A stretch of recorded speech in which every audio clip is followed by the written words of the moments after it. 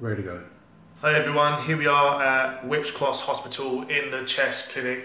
Just a quick video to show a demonstration on how to perform spirometry to the ARTP standard.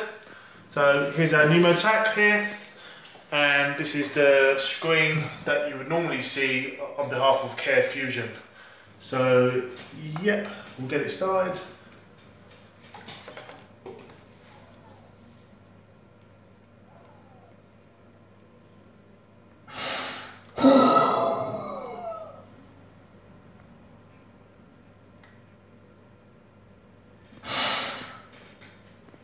Wonderful.